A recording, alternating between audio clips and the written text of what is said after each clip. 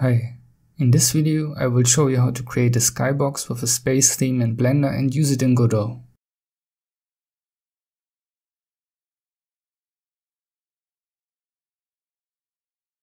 If you have never used Blender, here are a few tips so you don't get lost. To search for things you can do, press space or F3. Here we deleted an object. You can also use the header menu, and here we reset the rotation of the camera. To reset the location, let's try it again with the menu search. You can find key bindings in the menu search if you hold your mouse over interface items or in the preferences.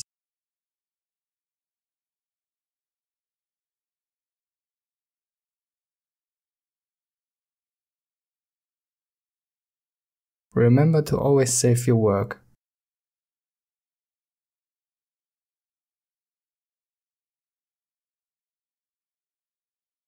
In the Properties editor, we rotate the camera 90 degrees on the x-axis. Shift-A allows us to add meshes. Here we create a sphere. Right-click it to set it to smooth shading. Numpad 7 gives us a view from the top. The mouse wheel we can zoom. Holding shift and the middle mouse button we can pan the view. We select the object with left click. Press G to move the object, snap by holding control, and confirm with left click. The middle mouse button we can rotate the view and with F12 we can render our first image. Left click to select the object. Shift S to snap the 3D cursor to the object. Shift A to add a circle mesh. Numpad dot to zoom near the object. Tab to go into edit mode. Make sure all vertices are selected by pressing A multiple times. Press S to scale and type 1.5. Press E to extrude, move the mouse a little bit, but right click. Press S to scale, type 0.9. Go back to object mode by pressing tab. Add a solidify modifier.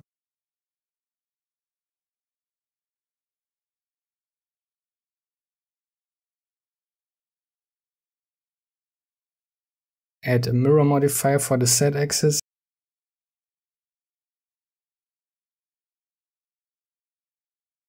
Add subdivision surface modifier and raise the level for the viewport.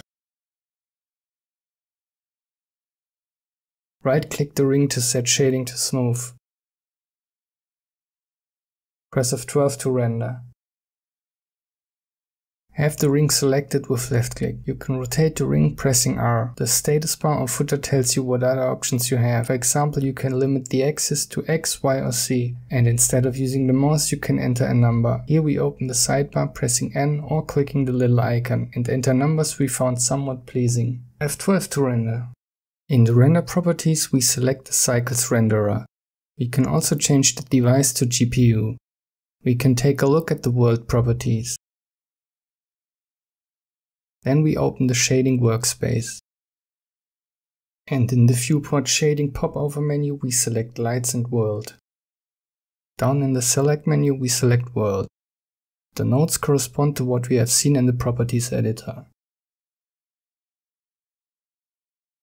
We add a noise texture node with Shift A and connect the factor output to the color input of the background node.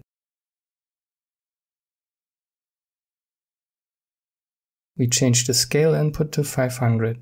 Then we add a brightness and contrast node with Shift A, which automatically connects when placed between a connection.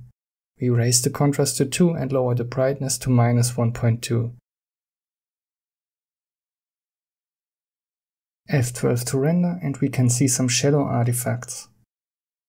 To fix that, we can add a subdivision surface modifier, or what is not shown here, in the properties editor under the orange object properties tab, we can change the shadow terminator property. F12 to render again and it looks good. We add another noise texture node.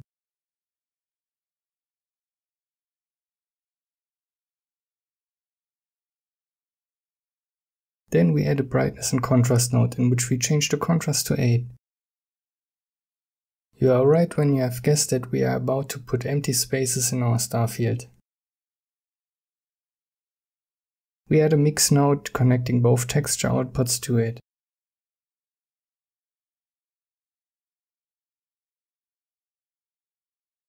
Select multiply as the blend mode and raise the factor to 1.0.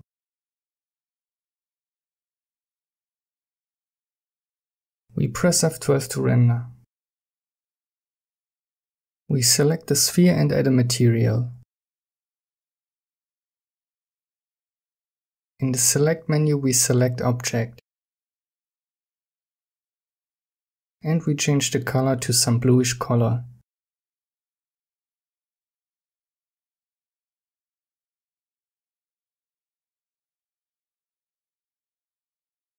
Then we select the ring and add a material. This time we select the emission shader and raise the strength to 2. Then we look at the render with F12. The scene contains a light already, so we change it.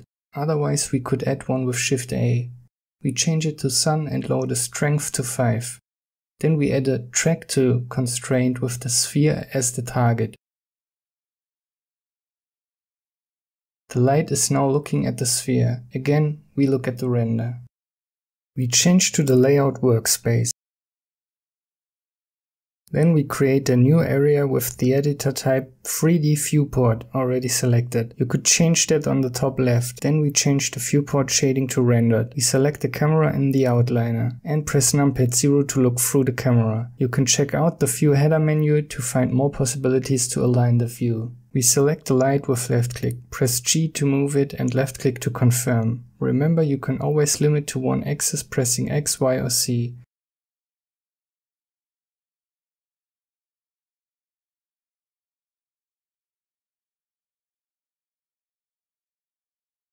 We can also change settings in the sidebar under the Item tab in the Transform panel. You can open the sidebar clicking the icon or pressing N.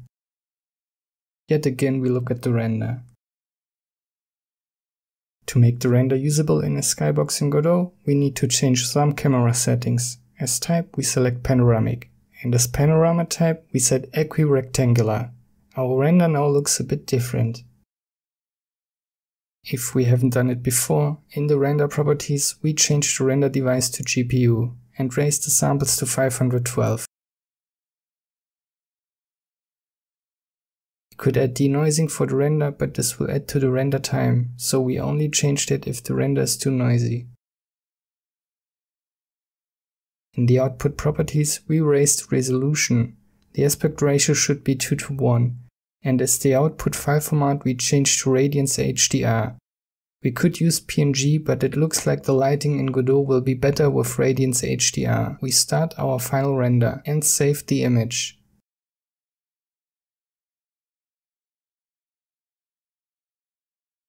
We create a new Godot project and copy the image we just created in its directory. Then we create a spatial node. And for some visual reference we add two mesh instances. The first is a plane mesh of size 8x8 with an added spatial material.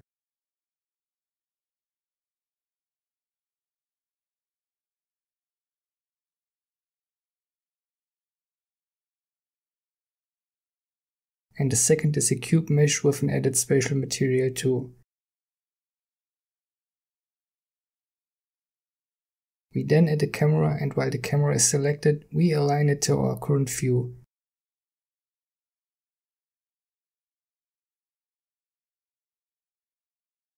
We test it by selecting preview. Then we add a new script to the camera node. This is just a minimal camera script. We then save the scene, press play and select the scene.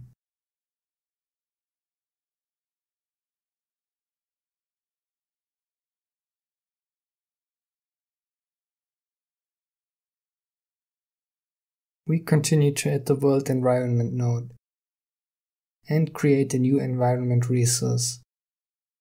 Then we change the background mode to sky and create a new panorama sky resource. We drag and drop all of the skybox.hdr image as a texture resource to the panorama property. We can see that the planet is behind our camera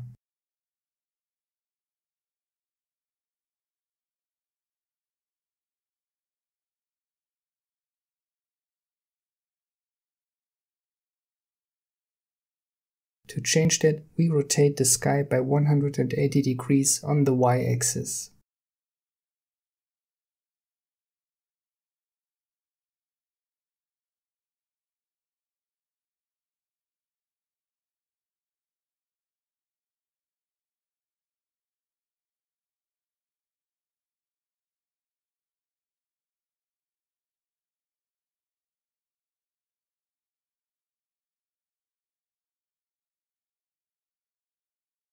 To add some eye candy, we add an animation player node.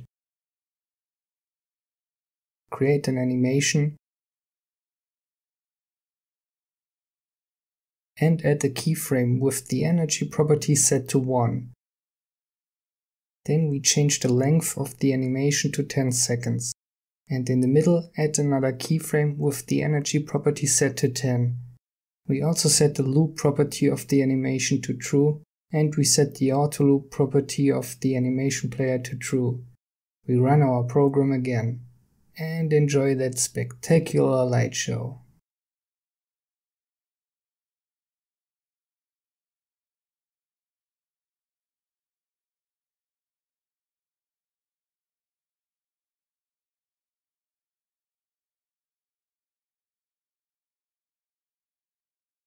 Thanks for watching, like and subscribe. Bye.